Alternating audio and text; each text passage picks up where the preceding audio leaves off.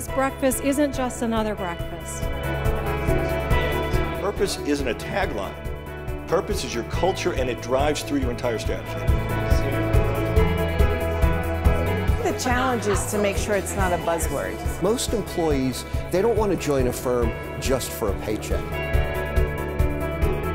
What are we really prepared to give up to create purpose? The challenge is always the short-term pressure and the long-term purpose and the long-term focus. I don't see it as a sacrifice. I think actually it's conviction. You need to lead from the front. You need to set the tone from the top.